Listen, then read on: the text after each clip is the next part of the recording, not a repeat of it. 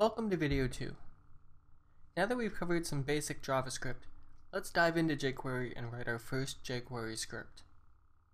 In order to do that, I need access to the jQuery library. So I visited jQuery.com, I'm going to click the download section, and you'll note that we have two options here. We have a CDN hosted jQuery and a direct download to jQuery. And in this case, I'm going to be dealing with direct download for the most part. And I'm going to be talking about the CDN hosted version in a couple minutes. Now we have two different versions we can choose from in the direct download. Um, we have the production version, which is 32 KB, and we have the development version, which is 247 KB. And basically the difference here is that the production version has been compressed, which means as many of the tabs and as much as the white space as possible has been stripped out of those files. Variable names have been shortened. Basically, they've done whatever they can do to keep the file size down. So if you go to the development version and click download, you'll notice this is nice and easily readable. Uh, maybe you don't fully understand it, but at least you can go through and have a rough idea of what's going on. If you take a look at the production version, however, this is a lot more complicated. You'll notice there's very little spaces in this file. Um, they've shortened all the variable names down. This is the version of the file that we're going to be using since it's much a smaller file size. But just keep that in mind if you ever want to take a peek into the actual jQuery library, that's where to do it. So I'm going to click the download button there and I'm going to copy this entire file and I'm going to switch over to my text editor and what you see here is the template file that we're going to be working with for most of this course. It's a, just a simple HTML and CSS based template. Let me take a peek at the HTML. Um, as I said, these files are included with the source file, so you should be able to download those and work directly from them. Um, but this is a basic HTML file, has an HTML5 doc type, and I'm going to be working with HTML5 a little bit, but you don't really have to have a strong understanding of that in order to follow along. In addition to this, there's also a CSS file that includes all the basic styling that that template needs. So now that we have that jQuery file copied, I'm going to go ahead and create a new file. I'm going to call it jQuery.js. And I'm going to paste it in place. There we go. So I'm going to save this file and open up my test.html. And down here within this head section, we need to link this file into our HTML. So I'm going to do script src equals. I'm going to link in the jQuery, so jQuery.js. And then I'm going to close out the script tag. And uh, one minor thing to note, in most cases you usually have a type, and usually that would be text CSS or text JavaScript. But since I'm dealing with the HTML5 doc type, and there's only one type of script now, I can actually remove that, and um, it'll be processed and understood correctly. One other thing that I wanted to talk about, let's go back and talk about the CDN version of jQuery. Here we go. And CDN stands for Content Delivery Network. Basically what this means is other websites have offered to make this particular file available and it allows you to link to their files rather than having jQuery embedded within your own website. So for example, I can click on the jQuery CDN minified version and I'll take this link and then I would simply paste it into this spot in my file. Um, for the sake of this tutorial, I'm going to be working with the actual jQuery file, this jQuery.js, but keep that in mind, the CDN version might be an option for you. Um, there are a couple of reasons why you might want to use the CDN version. Um, the two things are, this is one less file for your visitors to download from your website, saves you a little bit on bandwidth. And also, it's possible that whatever user is visiting your site has visited another site that has already downloaded this file. So it's already cached on their computer and it'll be a little bit of a faster experience for them. So keep that in mind.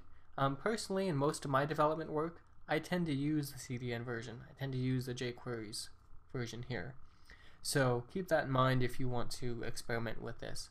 Um, you're probably not going to notice a huge amount of speed difference between the two, but I tend to like to use the CDN version myself. So back to our text editor here.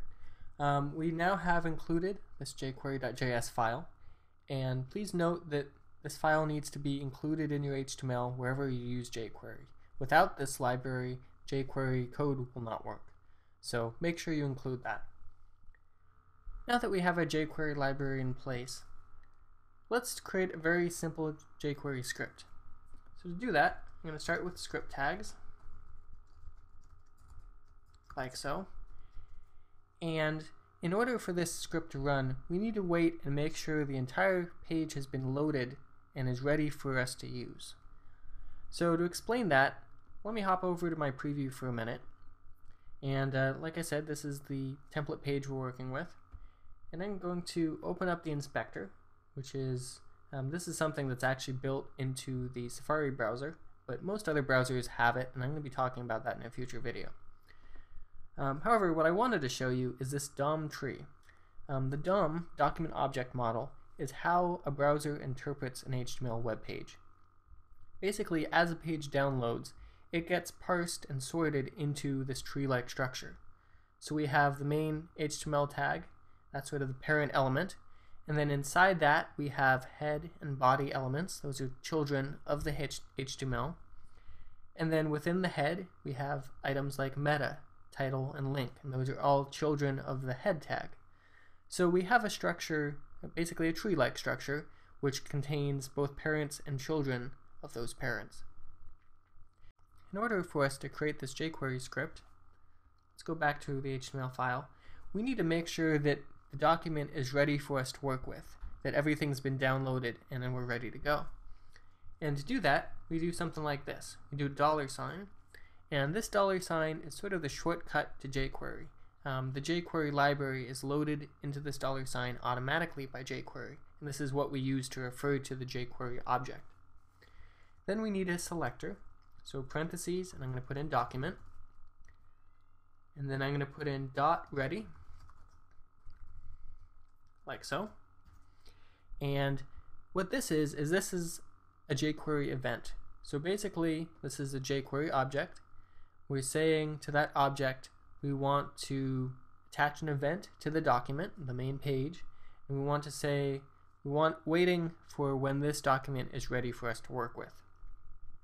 When it's ready for us to work with, then we want to add in some code. And Unfortunately, we can't do something like this. So um, for this example, I want to pop up an alert every time the user clicks his mouse on the page. We can't do something like this, alert. Sorry about that. Because what will happen, as you just saw, is that immediately when this page is first loaded, this alert is going to happen. Um, as the page loads into the browser, it's going to be um, this code is going to run automatically. However, we want to make sure it waits until this document is ready. And to do that, we use an anonymous function. So I want to add function, two parentheses, and an open and closing brackets here. So there we go. So what we're doing is we're waiting for this document to be ready, and then we're calling our alert. And this is an anonymous function because it doesn't have an actual name, so there's no easy way to call it, but it's going to be called automatically when this document is ready for us. Now if we take a look at our preview and refresh the page, we'll get an alert when the page first loads. So that's working as it should, but I want to modify this so that when the page is actually clicked on, then this alert appears. So we're going to do something a little bit similar. So like this line, we're going to do the dollar sign that refers to the jQuery object. We're going to do our parentheses. We want to select the HTML element on the page. So I'm going to do quotes HTML. And the way jQuery works is sort of like CSS. I'm going to be talking about selectors in a later video, but in this area within the quotes here, that's where we can add, um, for example, classes, IDs, we can select things sort of based on standard CSS uh, code.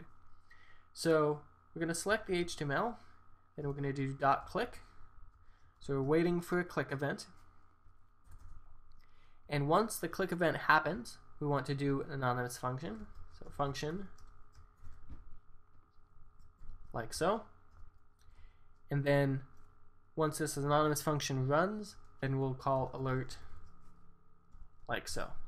Let's take a preview of this. Refresh the page. So anytime I click on this page, it'll pop up a JavaScript alert for us. So this is a pretty simple example, but it explains how jQuery works, sort of the basic syntax. Uh, most of the time you're going to be dealing with a document.ready, so you want to make sure that the document is ready for you before you start issuing jQuery commands. Then often you'll have some sort of event that you want to wait for. So in this case, we're looking for a click event on the main HTML uh, in our page, and at that point, we're going to run this code that calls an alert. So hopefully that's enough of a basic introduction. Join me in the next video. I'm going to be talking a little bit about debugging and how we go about selecting elements using jQuery.